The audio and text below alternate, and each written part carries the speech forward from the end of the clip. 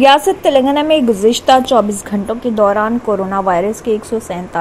नए केसेस दर्ज हुए, जिसके बाद रियासत तेलंगाना में कोरोना केसेस की कुल तादाद छह लाख पचहत्तर हज़ार एक सौ अड़तालीस हो गई। गुजशत रोज एक सौ अड़तालीस अफराद कोरोना से सेहतियाब हुए हैं, जिसके बाद रियासत तेलंगाना में कोरोना से सेहतियाब होने वालों की तादाद छह लाख सैंसठ हज़ार छह सौ इकतीस हो गई गुजशत रोज एक शख्स की कोरोना से मौत हुई, जिसके बाद रियासत तेलंगाना में कोरोना से मरने वालों की तादाद तीन हज़ार नौ सौ छियासी हो गई। आदिलाबाद में गुजशत रोज कोरोना के तीन नए केसेस दर्ज हुए वहीं भद्रादरी, कोतगुड़म में सात, जीएचएमसी में छप्पन, जबतियाल में एक, जनगांव में सिफर, जयशंकर भोपालपल्ली में सिफर, जोगुलामा गदवाल में सिफर, कामारेड्डी में एक, करीमनगर में ग्यारह, खम्मम में पाँच कुमरम भीम आसिफाबाद में एक, महबूब नगर में एक महबूबाबाद में तीन और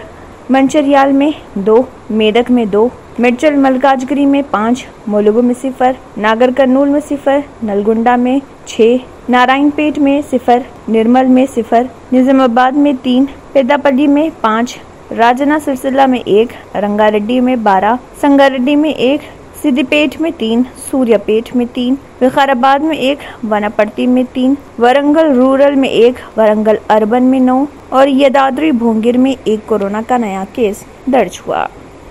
अगर आपने हमारे चैनल को अभी तक सब्सक्राइब नहीं किया है तो यहाँ पर रेड कलर का सब्सक्राइब बटन दिख रहा है। उसे क्लिक करें और हमारे चैनल को सब्सक्राइब कीजिए और साथ ही साथ बेल आइकन को भी क्लिक कीजिए, जिससे आपको ताज़ा ताज़ा अपडेट मिलती रहे।